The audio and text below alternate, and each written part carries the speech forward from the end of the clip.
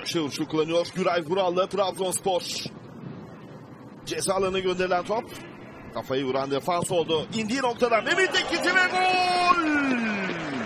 Mükemmel bir gol. Gelişine vurdu. Topu ağlarla buluşturdu. Trabzonspor 1-0 öne geçiyor. Dakika 38. Gol. Mehmet Ekici.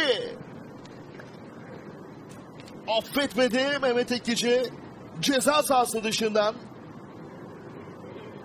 Sert ve düzgün vurdu. Kaleci Grappioni Federico'yu mağlup etti. İşte bir kez daha izliyoruz.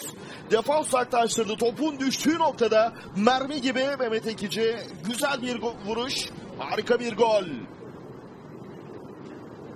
Ee, Mehmet Ekici'nin bu gollerini özlemişti Trabzonspor taraftarları. Ee, gelişine, hareketli bir topa, ee, sert, düzgün, yere de çarptı.